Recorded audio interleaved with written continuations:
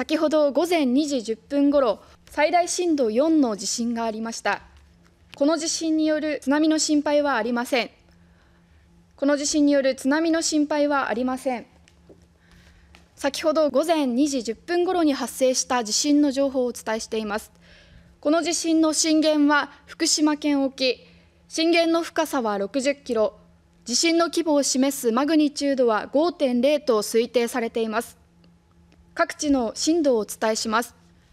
震度4は石巻市、震度3は角田市、登米市、東松島市、大崎市、丸森町、渡町。同じく震度3は山本町、利府町、涌谷町、宮城美里町、相馬市、田村市、福島伊達市、新地町。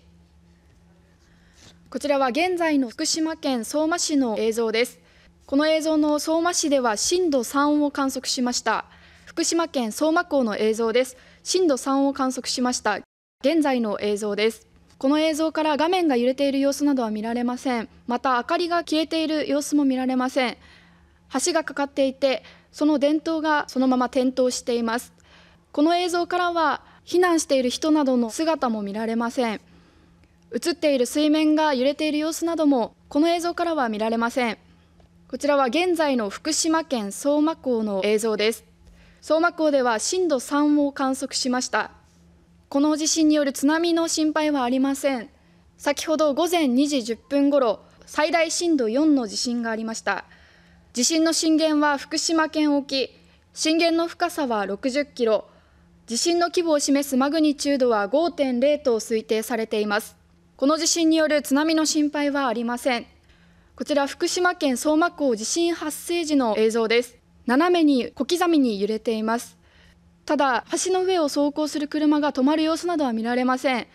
地震発生時、福島県相馬港の映像です。明かりが消えたり、自動車が停車する様子は見られませんが、スピードを少し落とす様子が見られました。こちら福島県相馬港震度3を観測しました。地震発生時の映像です。先ほど午前2時10分ごろ最大震度4の地震がありました。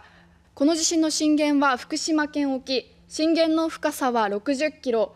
地震の規模を示すマグニチュードは5.0と推定されています。各地の震度をお伝えします。震度4は石巻市で観測されました。引き続き大きな揺れに注意してください。